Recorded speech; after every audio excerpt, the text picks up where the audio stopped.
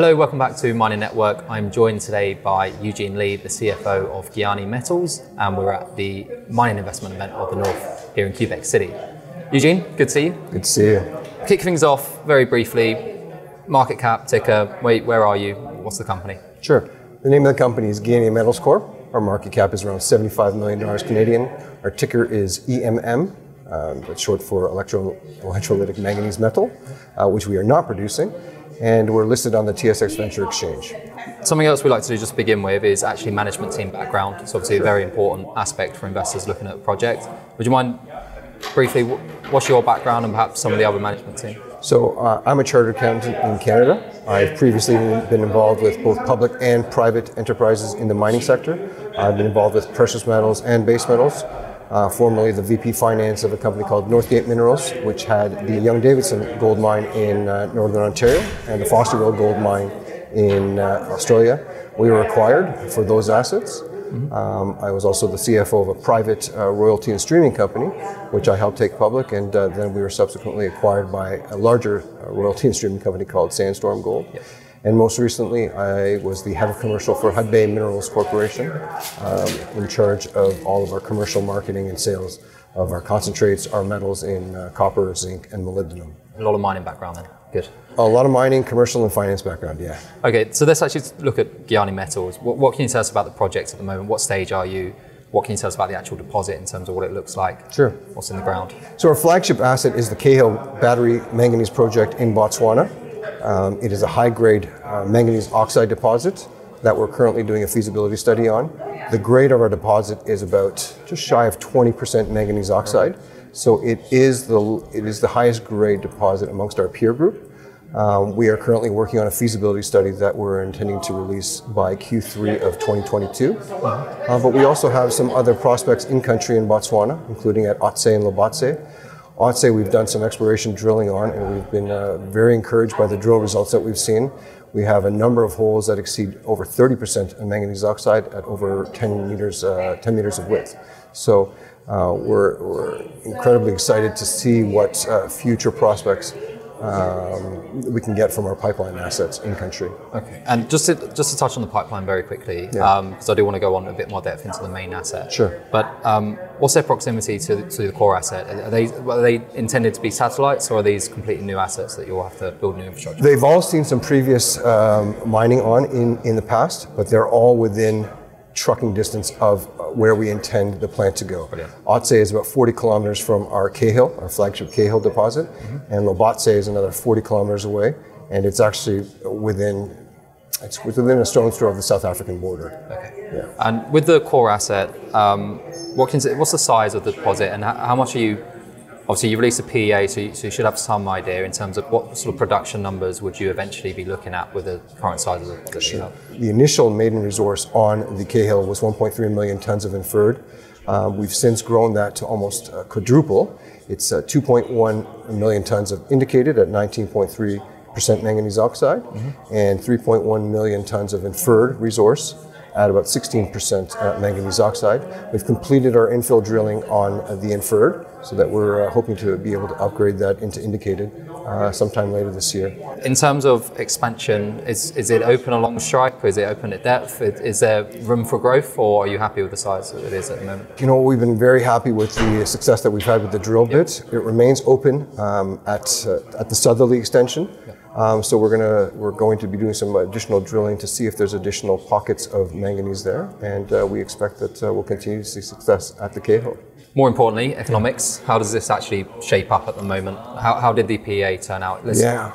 Post-tax numbers preferred. Sure. Yeah. So uh, the PEA was incredibly exciting when we saw the numbers. We have an indicated IRR of 80% wow. on a project uh, startup capex of 160 million dollars Canadian it was prepared by SRK, uh, and the NPV with a 10% discount rate was about $440 million. Wow. Okay. So that was based on a high purity uh, manganese sulfate monohydrate price of $1588 a ton. We were very conservative in the pricing that we used. We wanted to be able to control what we can control, which is the operating costs and the, and the capex. So we used a very conservative price. Now we know that the price of the material right now is selling well in excess of uh, the 1588 that we use in our PEA. Uh, in the feasibility study, we're going to be using a price that's that's likely double, maybe closer to three thousand dollars a ton uh, for the the product. But we're also expecting the capex to increase as well. We've all seen in, in our daily lives, in our, in our flights, in our hotels, and whatever it is in life, in our gasoline fuel prices, there's been cost creep. We've seen cost escalation and everything, um, but we're also seeing that on the pricing side as well. So we're expecting our margins to remain around where they were, around 65% plus. So the feasibility study that you're working on at the moment, when, when's that actually due? We're announcing that it should be expected by the market by the end of Q3 uh, of this year. We've already started to see some of the sections that we're starting to proof internally before we pass it off to our board for final approval. We're going to do it in stages so that it's not all coming out, coming to everyone at once. And is it? I assume, like most other jurisdictions, once you've got the feasibility, can you then start the permitting process? Is that is that the plan, or? So once we have the feasibility study, in conjunction with the feasibility study, we'll be working on our ESIA permitting or environmental permitting in country. Mm-hmm. Once that is complete, we'll be allowed to apply for a mining license, which we ant- anticipate completing both the ESIA this year as well as the mining license application this year. I, I don't know if you've been to Botswana, but it's a fantastic jurisdiction. We've been there a number of times. Um, and every time we go, we've had the opportunity to meet with government. We've met with the Minister of uh, the Mines Department. We've also had uh, closed door sessions with the president, and they are very keen. And some of the questions, that, one of the questions that they continually ask us is, "Why haven't you applied for your mining license application yet? When are we going to see it?" And our answer is, "When it's ready. We want it to be right. We need to. There are certain things we know we need to do. We just haven't been there yet, and we're getting closer to, to that stage." And so we expect to, to be able to do all of that by the end of this year. How long does the permits take, actually, before we move on to, to actually get through once you submit them? Is there a rough timeline? The statute in Botswana indicates that they need to respond within three months. Okay. We do not think it will be as prompt as, yeah. as the statute uh, indicates. But so we've we've built in a more conservative number in terms of when the uh, actual license will be granted. So, in an ideal scenario, Q3 you'll have your feasibility study. You'll be potentially by the end of this year, early next year, you may be in a position to make a construction decision potentially. There's a few steps that need to be uh, that need to be to happen before then. Yep. We're also going to be uh, starting construction of a demonstration plant in South Africa. The demonstration plant has three purposes. One, it's going to prove that our process flow sheet works at scale. Yep. Two, it's going to be able to provide the samples that the off-takers need to qualify the material. And three, it'll be a, a training tool for operational staff in Botswana. The demonstration plant and the product that we produce will validate the spec that we've shared with our potential off-takers. Once that step is through, we're going to continue our discussions with uh, potential off-takers uh, and other interested parties. Um, and then we'll work towards the funding and the fundraising of the project through 2023. Mm-hmm. Um, and hopefully by the end of 2023, we'll be able to come to a, a, construction decision or final investment decision.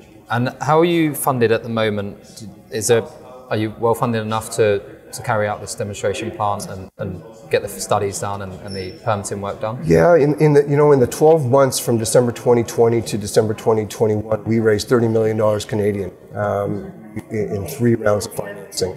Um, so that was to see us through to the end of 2022. It was to fund the feasibility study costs as well as the construction of the demonstration plant. Um, we have seen cost creep in, in all aspects. We've also seen scope changes. Um, we've seen a lot more potentially interested off-takers that have come to us and asked us for samples.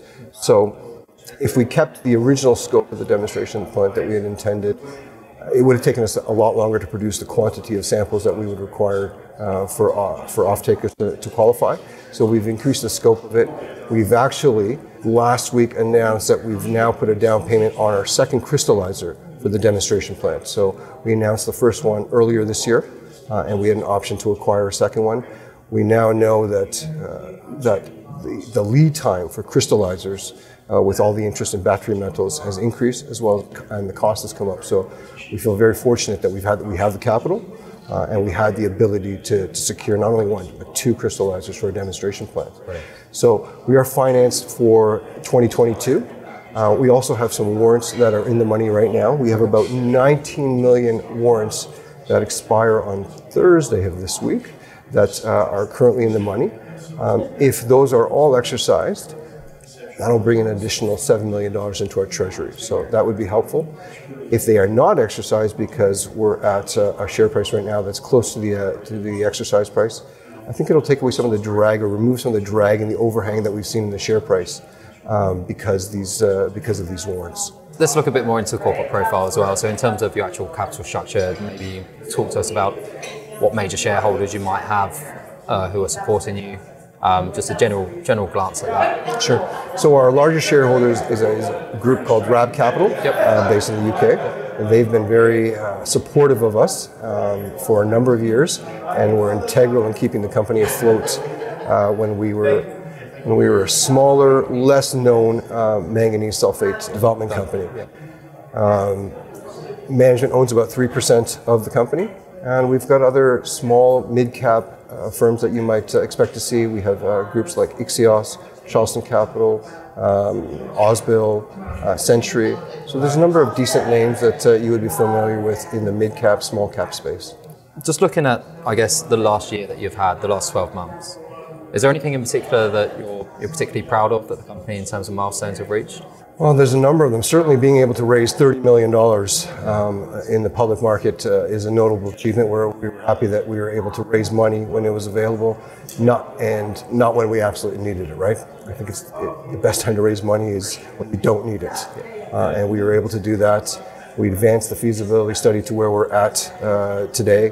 Uh, we're close to signing the contract to start the construction of the demonstration plant and we've uh, we've sorted out the metallurgy uh, of this uh, of this product, which has been challenging. Uh, I don't know if you, if you're completely aware, but our process is going to be unique in terms of producing the uh, the HPMSM. We're taking the ore directly, and we're going to leach it uh, and process it to produce the salt directly. There's going to be no calcining. We're not going to produce a metal and then further dissolve it into the HPMSM. It is going directly from ore into the salt. So um, the metallurgy and the, the flow sheet around that was, was pretty intense. We've spent over 5,000 man hours just on the uh, on the processing side of it. Uh, we've done 80, almost 80 separate metallurgical tests uh, that we uh, throughout this period.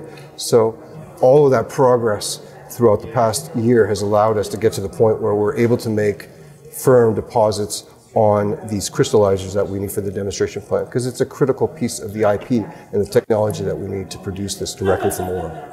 Yeah, and it obviously sounds as though that being able to produce straight from ore is also something that's going to keep costs lower, which obviously is, is a great thing. There's a number of things. Certainly, it's going to keep our, our costs lower. It means it'll it'll uh, will require less reagents, but it also will result in a product that has a much lower carbon footprint. And ESG and and uh, is an incredible, incredibly important part of this entire EV transition that we're all being uh, that we're all part of.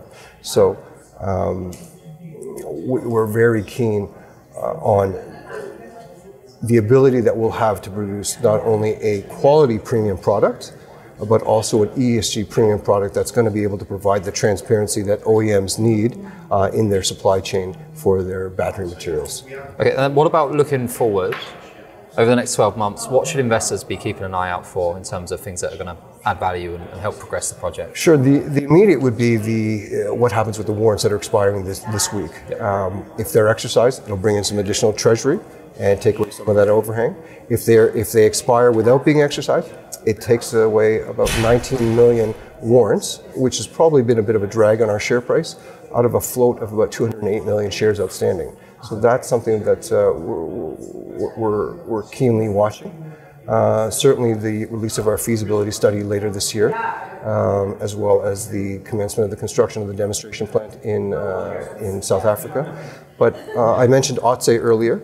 Uh, we've finished our exploration drilling there, and we are hoping, uh, we are working towards releasing our maiden uh, resource for the Otse prospect, and we expect that to be as good as K.Hill in terms of grade, which is at 19.3 or higher. We expect it to be higher. Based on the preliminary uh, results that we've seen, we've had some hits that are in excess of 60% uh, manganese oxide. So we're incredibly excited about what Otse can do to the economics of the company. Brilliant. All right, well, we'll keep up to date, and um, it's been a pleasure having a chat with you. Yeah, great to meet you. Thank you.